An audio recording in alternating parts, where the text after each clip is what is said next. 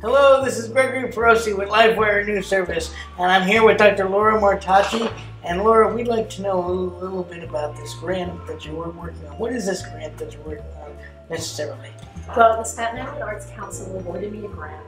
The, uh, the name of the, the uh, project is called Unexpected Reviews. And the project is really about giving visibility to the artwork that's been created by folks who special needs, folks who have disabilities, folks who have suffered heart attacks or, things that don't allow them to return to their previous lives. We know they're making fabulous artwork, and the artwork uh, talent needs no accommodation. We don't need to create ramps, we don't need to create special bathrooms. We're going to showcase the artwork, the real, real, really amazing stuff that I see being done at Lifestyles, at, at many of these other facilities. And these um, artworks are going to hang throughout Staten Island in 2017. We have several different venues already, College of Staten Island, Staten Island University Hospital, we have some public libraries, we have some restaurants.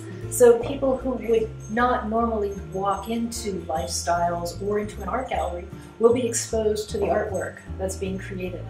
I work on bullying issues. I'm a sociologist and I worked at Rider College for about a decade.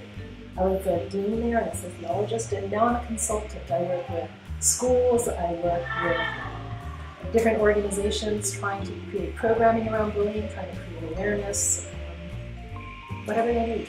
Very good. Now, now, Dr. Laura, who are you trying to give visibility to as well as as far as this grant is concerned?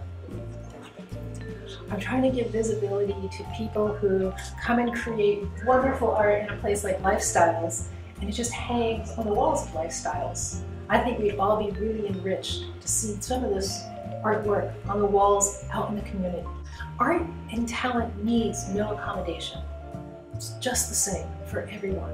And I want people in the communities to start seeing what a valuable asset special needs folks are, people who now have disabilities, how, how much they can contribute to enriching all of our lives. Gregory, I need to ask you, do you have a piece of art you're going to submit to us? Well, Dr. Laura, I do take a lot of pictures when we're when we're out, out of the out in the community. Because not only do we have the opportunities of doing uh, work we normally are, but we're out uh, out in the community whenever, whenever wherever we go, whether it be an exhibit, whether it be a person who has uh, a job in a certain thing, mm-hmm. I'm able to, you know, I'm able to interview that person and also take pictures. So what you need to do is Joanne and Ursula and Dee.